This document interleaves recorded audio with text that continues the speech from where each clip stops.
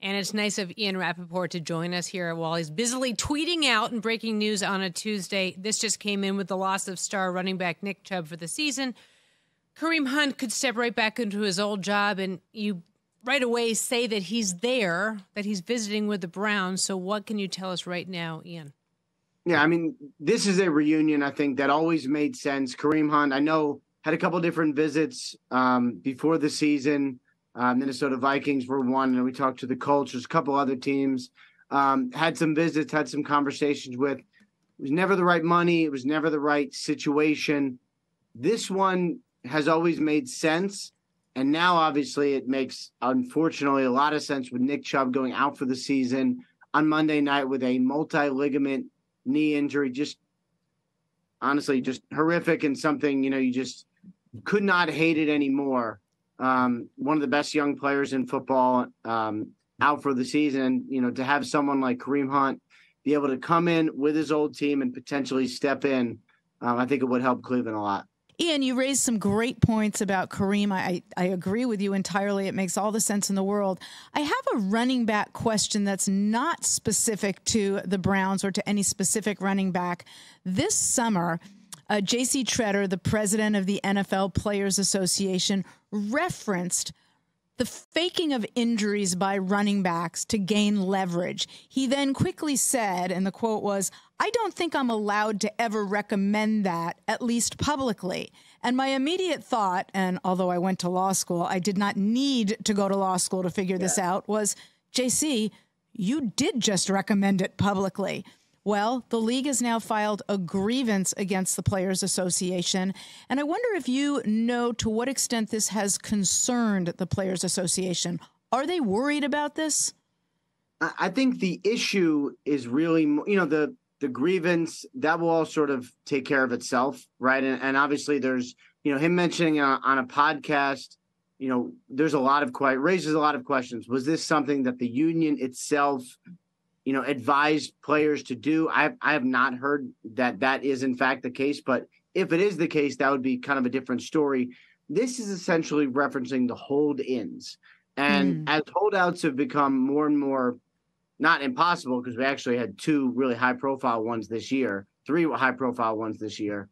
Um, you know, it, it's be, because the holdouts have become much more punitive, the hold ins have become much more favored from players which is essentially saying like, ow, my hamstring, I can't practice. I'm not going to practice until I get a new contract. And, you know, I remember even myself joking on air that when J.K. Dobbins was, you know, on the PUP list to start camp for the Ravens, you know, it was an injury that a new contract could cure. Now he ended up being on the field, not getting a new contract, and unfortunately tearing his Achilles. But, you know, these hold ins are a way for players to have some leverage to withhold their services. I know it's something teams don't like. I'm curious to see what precedent is set, if any, with this grievance. Um, but yeah, I mean, these are as teams hate holdouts, they now sort of seem to be targeting hold ins as well. How might this affect Jonathan Taylor for saying, you know, clearly we have the Browns wondering what they're going to do, saying that Jerome Ford is their starting back. We have Sean McVay all but packing a bag for Cam Akers. How does this affect? Let's start first with Jonathan Taylor.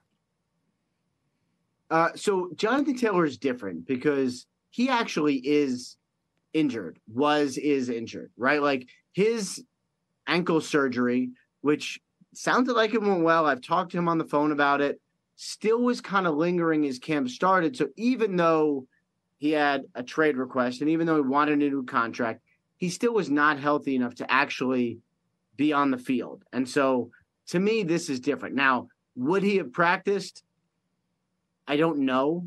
I don't know. Um, he might have sort of withheld his, him himself. And sometimes teams are, or players are really transparent with teams. Sometimes they say, I'm making a business decision. I'm not practicing until I get a new contract.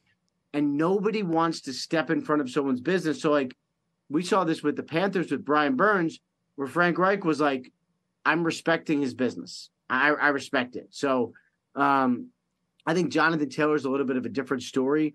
He is still in the PUP list for another two weeks. Um, I don't know when we're going to get a resolution.